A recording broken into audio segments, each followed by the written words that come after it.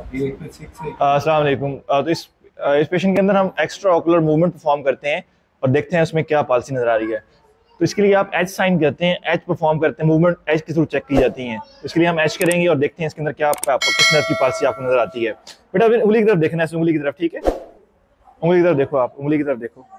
इस उंगली की तरफ़ देखो, शाबाश, ठीक है। सो कन्वर्जेंस इसकी ठीक आ रही है। इधर देखो तो लेटरल रेक्टस दोनों इस साइड के लेटरल रेक्टस और उस साइड का मीडियल रेक्टस ठीक है नॉर्मल काम कर रहे हैं ठीक है? इस साइड पे देखो बेटा शाबाश। So, इस साइड का मीडियल रेक्टस और जो राइट साइड है उसका लेटरल रेक्टस इस तरह आप चेक करते हैं लेकिन इसकी लेटरल गेज इफेक्टेड है नहीं हो रही।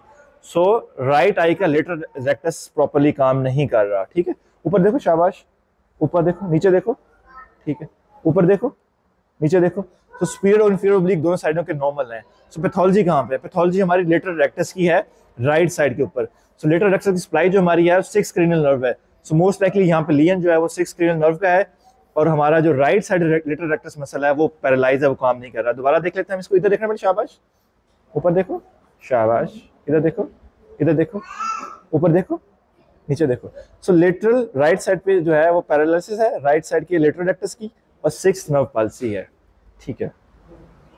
नर्व पैरालिसिस अगर यूनिलेटरल आपकी आ रही है तो उसके अंदर डिफरेंट काज हो सकती हैं, ठीक है? तो उसके अंदर आपने देखना है कि पेशेंट के अंदर कोई सूडोटर्मल सेरेब्रल के साइंस तो नहीं आ रहे लाइक हेडेक वॉमिटिंग फंडोस्कोपी भी आपको पेपरेडिमा आ रहा है सो एक काज तो ये सकती है, क्योंकि सिक्स नर्व जो है, वो उसका लॉन्गेस्ट इंट्राक्रेनियल कोर्स होता है।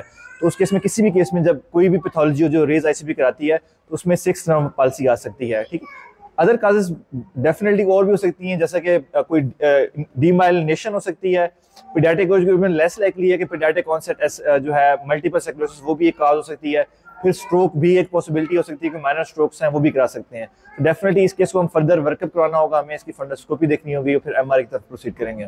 Thank you